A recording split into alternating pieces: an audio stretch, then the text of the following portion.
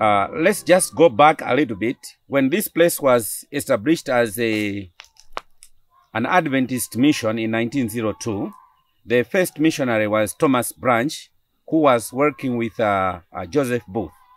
But there was also Mabel Branch, who is a uh, credited of starting the education system. After him came uh, uh, Watson. Watson, who was uh, a person who did a lot of the agricultural uh, activity. So he's the one who has the foundation of all of setting the, the agricultural uh, uh, mission, or I should say farm. After Watson, we get lots of the stories of this farm in the times of uh, uh, Jesse, uh, Jesse um, um, Rogers. Rogers. That's the guy who has recorded a lot about this place.